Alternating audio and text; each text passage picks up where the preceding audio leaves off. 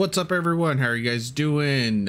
In this game, I have 3DBee as the Byzantines spawning in the northwest of Rocky Rocky Mountains? No. Rocky River. There you go. Sorry. Completely forgot the second half of that. And then spawning in the southeast as our blue English player is VortiX. I am extremely excited to be casting this game. 3DBee is easily one of my favorite players. He's extremely creative and with the way that the Byzantines are, I am extremely excited to see what he does with them. They are very versatile in terms of what they could potentially do. Like if they go more with a mercenary style play, if they're going to go more into the olive oil, um, or if he's going to try to go a little bit more of a standard playstyle with the Imperial Hippodrome. I, I, I'm just really excited to see what he's going to do. Already he's going more gold focused, which is a little weird, but he is going on to the berries right off the rip as well. As for our English player, VortiX, he is going straight for the ponds Keep in mind that the ponds have been nerfed. There's only two shoreline fish now instead of the four that there were pre-patch. I will add, or I do have to add, that this game is a part of the EGC TV tournament. A link will be down below. I'm not casting the full series or anything like that. I've been trying to avoid uh, casting any of their games today. I will be posting two though game one of the Mista against oh wow. I can't remember who he played against right now but one of the games is going to be with the mista against oh louis mt and then this game as well.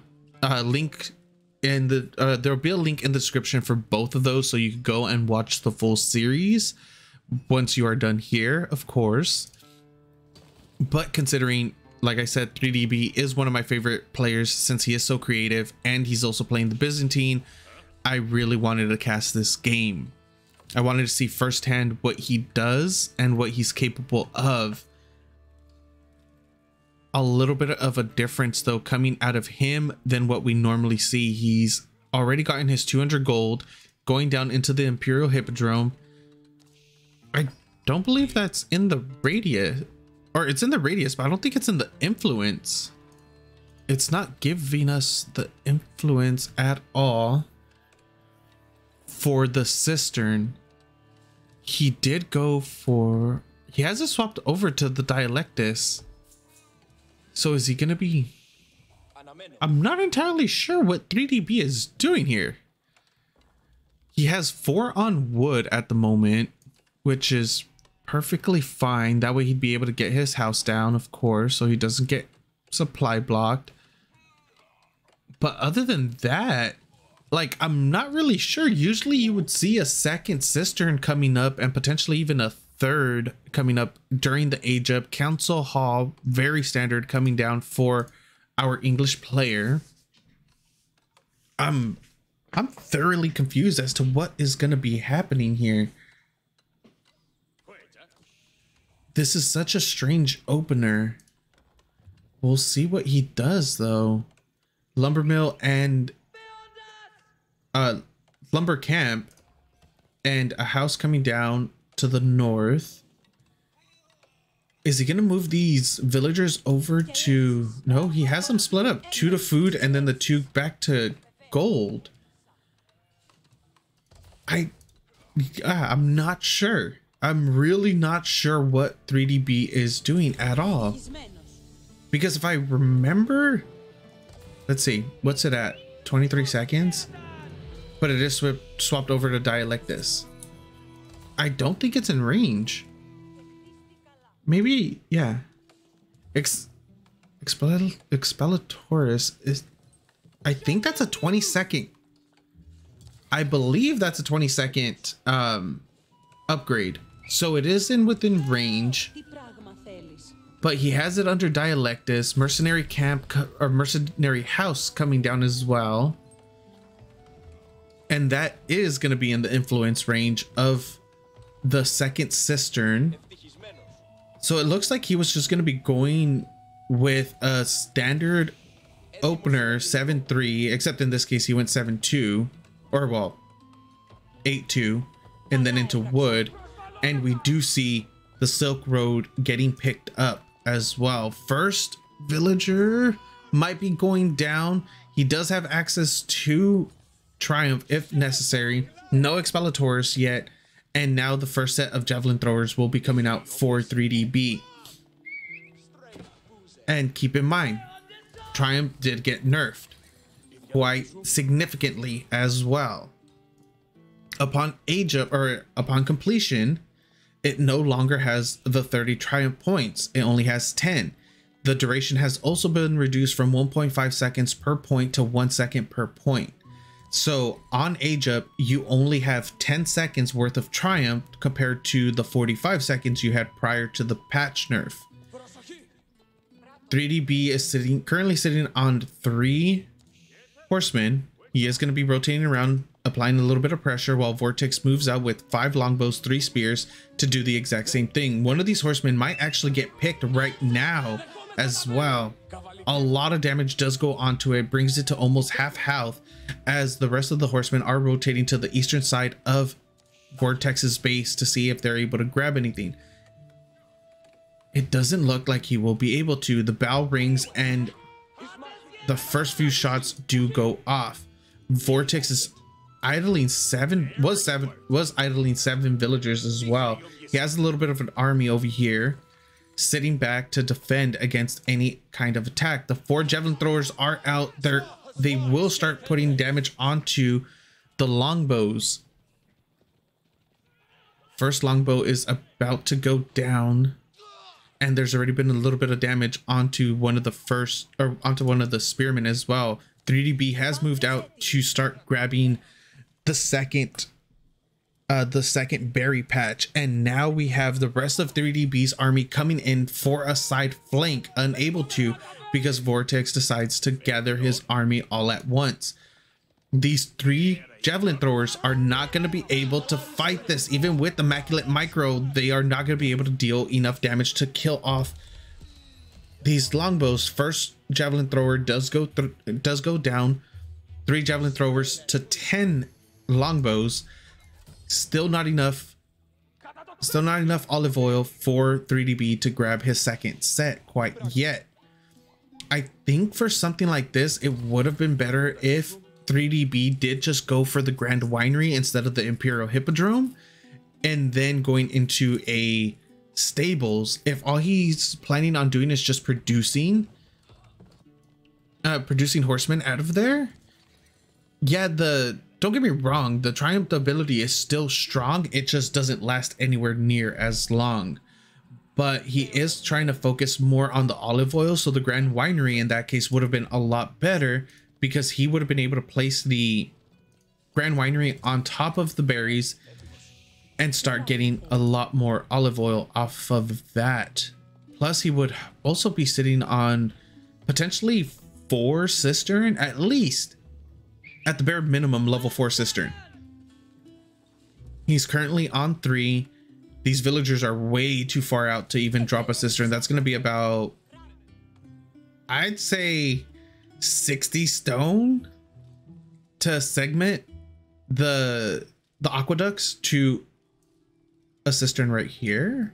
And then that's it. That's to be that's a pretty crappy cistern all by its lonesome over here for this berry patch and then a couple uh, a couple trees i i don't think that would have been worth it at all.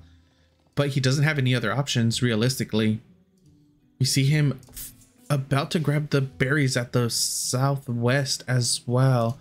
These fishing boats should be running out of food pretty soon. There's only 20 left and then these boats will get deleted as soon as they start idling. And look at this little palings formation that we have going on for VortiX to protect his gold. 13 longbows just chilling here, surrounding their villagers, making sure that no horseman could get in in order to do any damage. Castle Age will be getting dropped pretty soon for VortiX. He's almost there, just a few a few hundred resources off. Actually, only 100 gold off at this point. the next drop off from gold, or excuse me, from food would be able to let him age up. And we see him grab venturing off and grabbing more of the uh, berry bushes out here. That's a really nice spawn right here for the berries. They're so close to each other. He could drop a single outpost right here. And that'll protect both of them as well. King's Palace is getting dropped for VortiX next to his gold. We'll be able to protect the gold and the berries. He could have actually put it up here in order to better secure them. Better secure all three of his resources. Either way, though, that's going to be sufficient. That's going to be more than enough to hold this off, hold off any aggression. Age up is almost up for... Oh, that was a little bit of damage on those javelin throwers. Good thing they have ranged armor. And then the age up for 3DBee, 3DBee will be coming up within the next minute or so. We'll see if he's going to go into the Golden Horn or Gold Horn Tower, or if he's going to go into the um the cistern of the first uh cistern of the first. Wow, something. I can't remember the full name of it. The cistern of the first flask. I don't believe that's right, but we'll go with it for now. Veterancy is coming through for VortiX. Golden Tower is the age up or is the landmark of choice in order to age up. Only seven villagers currently on it. And we'll see if he's if 3DBee is to go straight into uh, veterancy for his mercenary house or if he's just to be staying on the regular one for a while just so he could get a larger amount of javelin throwers because as keep in mind your your golden tower only produces units uh mercenary units that are available to you. So the moment you go into your veterancy it's going to start switching between your javelin throwers and in this case well in this case since he did go for the silk road route it'll be your javelin throwers or the camel riders. You have a 50 50 chance of getting one or the other. In this situation you're going to want javelin throwers so you may delay your veterancy. As I'm saying that, he instantly goes into a veterancy queue to get those camel riders. Longbows are pushing out alongside the spears. A total of 10 javelin throwers are out for 3DB. Oh, no stutter step micro really coming out. He could have potentially picked off two of the spears that were there. And we do have a potential wraparound coming through for 3DBee with his horsemen they were scouted out by the random man at arms that was back there. And now we have we do have a bit of a little fight going on. Triumph does get popped. Javelin throwers are picking off the archers and a couple of them a, little bit better micro could have been could have came out from 3DBee in order to just pick off the javelin thrower or excuse me the spears and then just let the horsemen deal with the longbows but instead he was just picking off longbows with the javelin throwers and allowing the horsemen to tank a ton of damage from those spears. And now we triumph is still or triumph was still active for a little bit right there. And 3DBee is chasing down the remaining amount of longbows. That number was sitting at about 20-ish and it's been whittled down to 12 now but it is because there have been a lot of longbows being produced in the back of this. And now 3DBee is under the king's palace still trying to pick off a couple units. Horsemen are here in order to do a little bit more damage and take a little bit of damage as well. Man at arms are slowly coming out for VortiX. He's currently sitting on six. And the horsemen are in the back line now. They are going to get pulled off though 3DBee should be backing off fairly soon because he's not going to be able to take this fight. He is taking a lot of damage, being very, very aggressive with those javelin throwers, still trying to pick off as many longbows as he can, while these man-at-arms from our English player are increasing in number. The first few cataphracts are out now for 3DBee as well. They are very, very tanky, and we should see a trample coming through on those man-at-arms. They do get increased damage dealt onto them now. The cataphracts were able to scare off the remaining longbows, and these cataphracts are going to be able to sit under these uh, under the town center and the king's palace for a significant amount of time. They are very, very tanky. The last few longbows have been picked off as well. A relic is coming through. Javelin throwers are still streaming in. Wololo is going off. Nice response. Is he going to be able to convert anything? No, he is not, but that would have been one hell of a conversion. GG gets called. Game goes to 3DB. Oh my gosh, that was amazing. Thank you guys so much for watching. I hope you guys enjoyed it. Enjoyed it at uh, I hope you guys enjoyed it as much as I did, and I'll see you next time.